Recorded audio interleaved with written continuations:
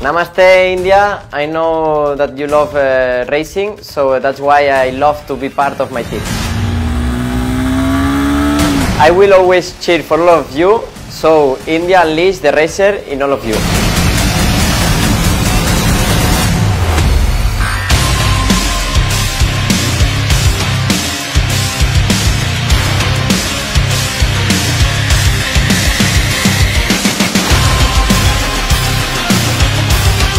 So get ready for the reps Repsol Honda Racing Inspiring Machines Hornet 2.0